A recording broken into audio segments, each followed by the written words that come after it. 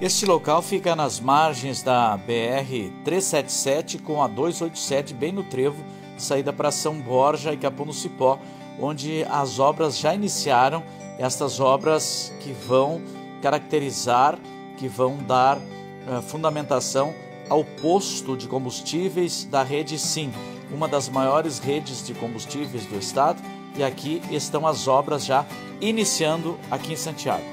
E a máquina trabalhando aqui fazendo já a terraplanagem, pessoal trabalhando para a construção, inclusive, já do, do posto, que será uma rede dos postos sim, uma rede de combustível muito forte no estado. E a máquina trabalhando aqui, pessoal, dá para observar o movimento já nesta segunda-feira.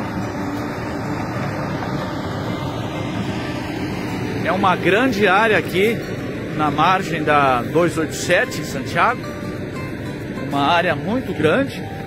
Já houve aqui, inclusive, a derrubada de eucaliptos aqui na região.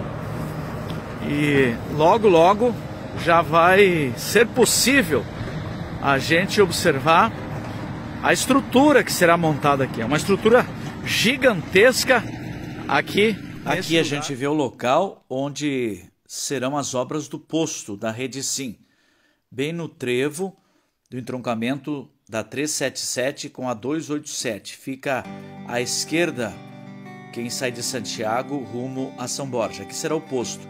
A usina será mais além um pouquinho.